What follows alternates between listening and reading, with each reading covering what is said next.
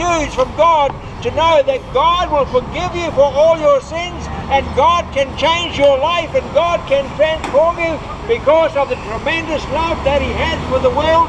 And when Jesus came into the world, He demonstrated and showed the amazing love and grace of God. Amen. So you need to understand that the gospel is good news and God wants you to open your hearts to His Word. He wants you to open your heart to the truth that He has for you because He loves you so much.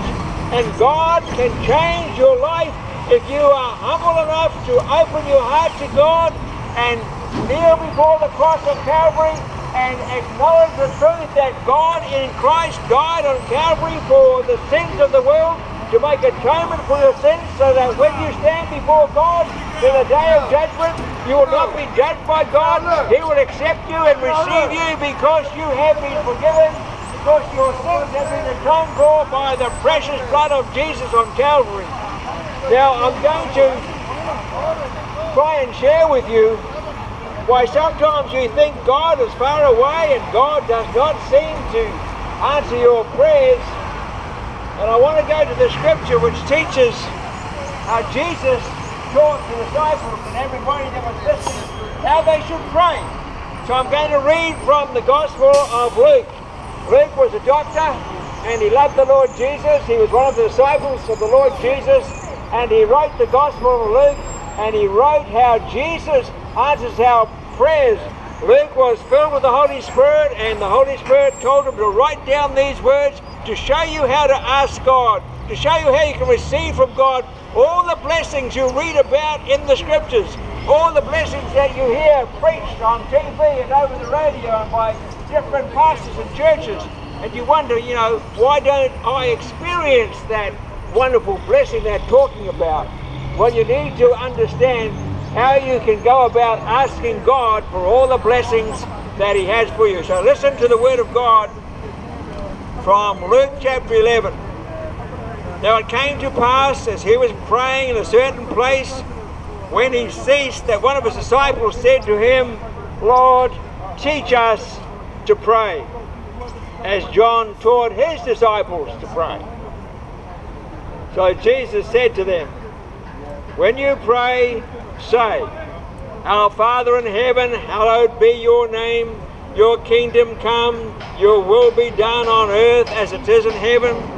Give us day by day our daily bread, and forgive us our sins, for we also forgive everyone who is indebted to us. And do not lead us into temptation, but deliver us from the evil one, that's Satan. And he said to them, Which of you shall have a friend, and go to him at midnight and say to him, Friend, lend me three loaves. For a friend of mine has come to me on his journey, and I have nothing to set before him for him to eat. And he will answer from within and say, Don't trouble me now. The door is shut, and my children are with me. We're all in bed. I cannot rise and give anything to you. Jesus said, I say to you, though he will not rise and give to him because he is his friend, yet because of his persistence, he will rise and give him as many as he needs. So I say to you, ask and it will be given to you. Amen. Seek and you will find. Amen. Knock and it will be opened to you. Amen. For everyone who asks receives, and he who seeks finds, and to him who knocks it will be opened. If a son asks for bread from any father among you, will he give him a stone? If he asks for a fish, will he give him a serpent instead of a fish? Or if he asks for an egg, will he offer him a scorpion? No. If you then, being evil, know how to give good gifts to your children, how much more will your heavenly Father give the Holy Spirit to those who ask him? Amen. You see what Jesus is doing here? Jesus recognized that all the Old Testament prophets, Moses, Abraham, Jeremiah, Isaiah, King David, all the prophets in the scriptures were inspired by the Holy Spirit and they were able to speak about the blessings of God because the Holy Spirit was in their heart, in their minds, in the very innermost part of their being. So Jesus acknowledged that all those prophets down from Abraham down had been able to preach the word of God because of the Holy Spirit within them. And he acknowledged that what they said about the coming Messiah was true, and he claimed before them by his actions and by his miracles to be the Messiah, the Savior of the world. So Jesus acknowledged that the Holy Spirit is real. And he taught four specific things about the Holy Spirit. In the scriptures, if you read all the Gospels, you find that the Holy Spirit is the key to all of God's blessing for us. You yeah. cannot understand the message and the truths of God without the Holy Spirit. You are made with a physical body, but you have a spirit inside of you. You've got thoughts, and you think about things all the time. You think about your friends. Sometimes you think about helping someone. Sometimes you think about loving someone. Sometimes you think about being rude to someone. Sometimes you think about things that God calls sin. You've got a spirit. You're alive. You're, the, the life within you is being put there by God. God is spirit, and it says in the scriptures that He breathed into you the breath of life. In you is the spirit of God, but it doesn't mean that you're going to be saved just because your life is of God. But because you are a spiritual being, God by His Holy Spirit can communicate with you in your spirit. So you need to listen to the Holy Spirit that speaks in your heart. God speaks to you in your conscience by the Holy Spirit, and He says He loves you. He loves you with a love that cannot be measured, but He also says that you've got a problem in your life. And that problem is stopping you from experiencing all the blessings of God. That problem is the problem of sin. And God says by the Holy Spirit, if you repent of your sins, if you turn away from them, if you come and confess them to God, He will set you free from them. He will forgive you. He will cleanse you. And He will deliver you. Do you want to be delivered from the strongholds in your life? You want to be delivered from all those things that make life miserable? You want to be delivered from all those things that make you unhappy? You want to be delivered from all those things that you know are wrong, that only God can do it by His Holy Spirit in you, but you've got to respond. And to respond, you have to be humble enough to say, Yes, Lord, it's true what your word says. The whole world is fallen because of the sin of Adam. All have sinned and come short of the glory of God. There is not one righteous, not one person. So we have to be humble before God and come and say, Lord, it's true. I am a sinner like your word says. I come to you and I confess my sins. And then you speak it out to God in private because Jesus said, if you go into your room, you want to pray to God, go into your room, go privately to God. Go and go and kneel before God in your room. Thank you. Go and kneel before God in your room and confess your sins to God. And the scripture says that God sees this. It's in secret because it's between you and God, but God sees it. And the scripture says God will reward you openly. He will forgive you and set you free, and you will know it's real, you know it's true, by the power of the Holy Spirit. So when Jesus taught the disciples to pray, he gave them the Lord's Prayer. And most of us have heard the Lord's Prayer, and we know about the Lord's Prayer. But see, Jesus didn't stop there, because sometimes the Lord's Prayer can become a bit of a ritual. That's all it is. We kind of repeat it. We don't think too much about what it says. And we say it in church or we say it in a group. We don't think about it. But as soon as Jesus finished about the Lord's Prayer, then he told this parable, this story of a man who had a friend come to stay with him and he didn't have any supplies to feed him so he went and knocked on the door of his friend at night. His friend was in bed with his children in bed and his friend said, go away, go away. But the, the friend kept knocking and said, I need help. So Jesus gave this parable immediately after the Lord's Prayer. Why? Because he wants us to ask for our personal needs. Whatever your need is, God wants you to ask for it. Amen. The Lord's Prayer is a prayer that you can pray in church and not think about sometimes. But God said, I want you to come to me with your particular needs. Because this man had a friend and the friend said, go away, I'm busy, I'm, I'm asleep in bed, I haven't got time to, to help you now. But the man kept knocking. And eventually his friend said, listen, what do you want? And gave him the supplies he needed because he had somebody come on a journey and he wanted to be a good host to him. So Jesus is teaching on prayer. And then Jesus spoke these amazing words in the scriptures. He says these words after teaching about prayer. He says, So I say to you, ask and it will be given to you. Seek and you will find.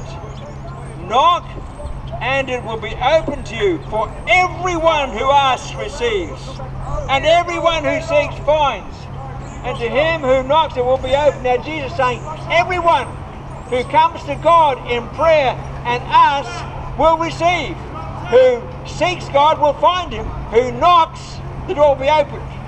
Now, if you are able to get hold of a translation of the Bible which talks about the original language of this verse about asking and seeking and knocking, this is what you will find that Jesus is actually saying. He's saying, ask and keep on asking. Seek and keep on seeking. Knock and keep on knocking. Amen. He's saying, don't give up. Don't come to God and say, Lord, I want you to help me. Nothing happens and you go away and forget about God. No, you've got to keep asking. Because Jesus said, this man that had a problem, he had no food to give to the person that was coming to stay with him, went to a friend and knocked on the door. His friend said, go away, go away, I'm asleep, I'm in bed, I haven't got time to do anything to help you now. The man kept knocking on the door. Eventually his friend got up and gave him his supplies. Jesus is saying that he is our friend. And if we keep asking him, we, he will respond to us. So we need to know that this is how we come to God. You might have a big problem in your life. It might be drugs, it might be pornography, it might be stealing, it might be carrying knives, it might be carrying guns, it might be doing all kinds of stuff you know is wrong. And you've asked God to help you once and then forgot about it. No, you've got to keep on asking God. Because God wants to see that you really mean business. God wants to see that you got faith. See what the, the board says there? Faith cometh by hearing, and hearing by the word of God. You can only please God by faith. You can only please God by responding to His Word. It says that God loves those who have faith. You can read about people in the scriptures that pleased God because of their faith. They trusted in Him. God wants us to trust Him. He wants us to come like a little child to His Father and keep asking for whatever He wants. You know, children are good at asking their Father for things. If a young kid wants a new bike because his friends have got a new bike, going to say, Dad, I want a new bike. His dad says, I can't afford it, go away. You can't have it, no, maybe next year. So the kid comes back again next day, Dad, I want a new bike. He pesters his father until eventually the father says, all right, we'll do something about it. We'll give you the new bike. This is what Jesus is saying in Luke chapter 11. We need to keep asking God for our needs, our particular needs. We need to understand that God wants our attention and He wants us to come to Him and ask for everything. Sometimes we think God is not listening. Sometimes it seems that God is not answering us. But if we are realistic, and if we're kneeling before our bed at night by ourselves, and we say to God, How come, Lord, I can't hear an answer? You'll find the Holy Spirit will begin to speak about something in your life that God wants to deal with. And God is saying, when you deal with that, then you will be set free. Then you will know the power of the Holy Spirit in your life then you will know that all the promises and blessings of God are available to you. See, God wants our attention. He wants us to come and ask and keep on asking and keep on seeking and keep on knocking. Because God loves us so much that we don't really understand it. We don't really understand it. The Apostle Paul said, Nothing in all creation can separate us from the love of God which is in Christ Jesus. It is not just out there in the sky. The love of God is in Christ Jesus. That's why you have to come to Christ, the Christ who came into the world. You read about Christ, he's not just another religious guru. You read in the scriptures that being in the form of God, he took upon himself the form of a man and humbled himself and became obedient unto death. Therefore, he is highly exalted by God. You see, God himself humbled himself to come and talk to us. So what's wrong with us if we will not humble ourselves before Him and come and say to God, how wonderful is your gospel. How glorious is the good news that you, O oh God, came into the world and you shed your blood on Calvary's cross for my sins so that I will be forgiven. You might ask the question, well, why does God have to do that? You see, God is holy. God is perfect. God is pure.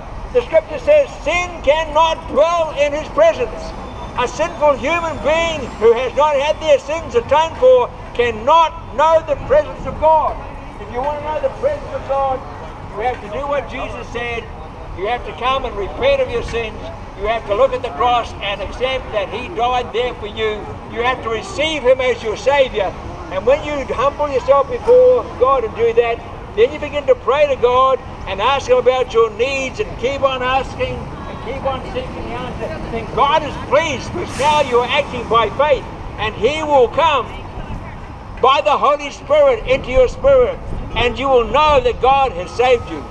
A long time ago, the man called Job in the scriptures, when everybody was saying, Well, look, you must be a bad sinner because everything's going wrong in your life, this is what he said I know that my Redeemer liveth.